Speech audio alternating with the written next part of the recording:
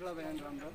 मैं आपको देसी पत्रकार के किसे में आज आपको लेके आया ग्राम पंचायत ककराना में। राशन की दुकान पे हम आए हैं। यहाँ लोगों का मतलब सोशल डिस्टेंसिंग के प्रति कितनी जागरूकता है लॉकडाउन का किस हिसाब से पालन कर रहे हैं वो चीज़ मैं आपको दिखाने जा रहा हूँ कि लोग मतलब राशन की दुकान पे राशन लेने के लिए आए हैं।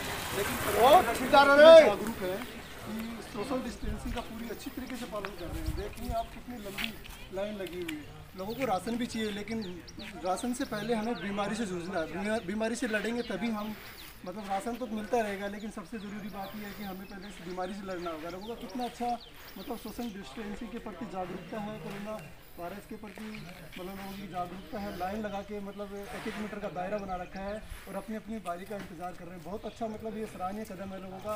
मैं मानता हूँ कि लोगों में जागरूकता आई है, क्योंकि यहाँ से लगभग तेरह चौदह किलोमीटर दूर गुड्डा कस्बा पड़ता है। वहाँ रोज़ नए पेशेंट आ रहे हैं संक्रमित रोगी वहाँ मिल रहे हैं तो लोगों को जागरूक होना पड़ेगा, तभी हम इस चीज़ से लड़ पाएँगे। क्योंकि गुड्डा क्षेत्र से हम लिंक हुए हैं। अगर वहाँ का कोई भी पेशेंट यहाँ जाएगा तो पूरे क्षेत्र को सील कर दिया जाएगा हमारे लिए चुनौती बन जाएगी समस्या बन जाएगी। हम डीलर साहब से बात करते हैं कि लोग किस हिसाब से कोऑपरेट कर रहे हैं और कोई समस्या तो नहीं आ रही है। लोग किस हिसाब से कोऑपरेट कर रहे हैं? कोई समस्या आ रही है? लोग मतलब धक्का मुक्की ऐसी कोई समस्या तो नहीं आ रही है नहीं ऐसी समस्या नहीं है हम एक एक वार्ड को बुला रहे हैं।